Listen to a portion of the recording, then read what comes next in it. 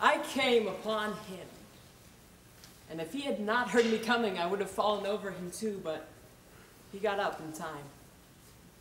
He rose and swayed slightly, misty and silent before me, while at my back, the fires loomed in between the trees.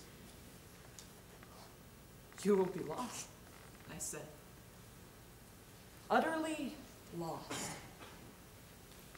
One gets sometimes such a flash of inspiration, you know. I did say the right thing, though indeed he could not have been more irretrievably lost than he was at this very moment as the foundations of our intimacy were being laid to endure. To endure, even to the end, even beyond.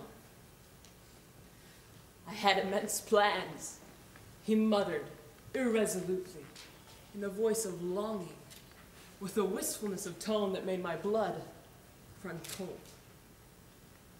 I tried to break the spell, the heavy, mute spell of the, the wilderness that seemed to draw him to its pitiless breast by the awakening of forgotten and brutal instincts, by the memory of gratified and monstrous passions. This alone, I was convinced, had beguiled his unlawful soul beyond the bounds of permitted aspirations. Soul.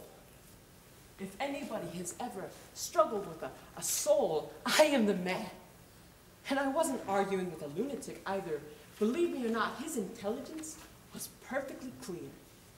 But his soul was mad. Being alone in the wilderness, it had looked within itself, and by heavens, I tell you, it had gone mad. I had, for my sins, I suppose, to go through the ordeal of looking into it myself. I kept my head pretty well, and yet when I had him at last stretched on the couch, I wiped my forehead, while my legs shook under me as though I had carried half a ton down the hill. And yet, I had only supported him, his bony arm clasped round my neck, and he was not much heavier than a child. One evening, coming in with a candle, I stood over him as if transfixed. Anything approaching the change that came over his features I have never seen before and hope never to see again. Oh, I wasn't touched. I was fascinated. It was as though a veil had been rent. I saw on that ivory face the expression of somber pride, a ruthless power, of craven terror, of an intense and hopeless despair. Did he live his life again in every detail of desire, temptation, and surrender in that supreme moment of complete knowledge? He cried out at some image, at some vision. He cried out twice, a cry that was no more than a whisper. The horror. The horror. I went no more near the remarkable man who had pronounced a judgment upon the adventures of his soul on this earth. And then they nearly buried me. I have wrestled with death. It is the most unexciting contest you can imagine.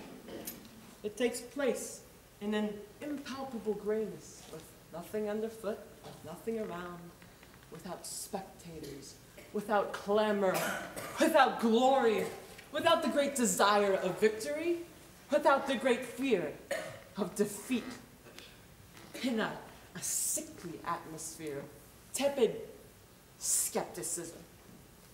I was within a hair's breadth of the last opportunity for pronouncement, and I found with humiliation that probably I would have nothing to say. This is the reason why I affirm Kurtz was a remarkable man. He had something to say. He said it, the horror.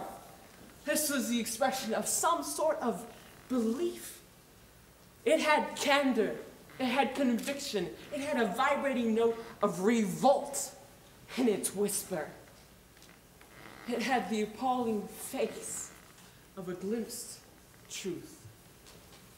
It was an affirmation, a moral victory paid for by innumerable defeats, but it was a victory. That is why I have remained loyal to Kurtz to the last. I was with him to the last. I heard his very last words. Don't you hear them? A persistent whisper all around us, swelling menacingly like the first whisper of a rising wind. The horror, the horror. Do you see him? Do you see the story? Do you see anything? It seems to me I'm trying to tell you a, a dream. Making a, a vain attempt because no relation of a dream can convey the dream sensation.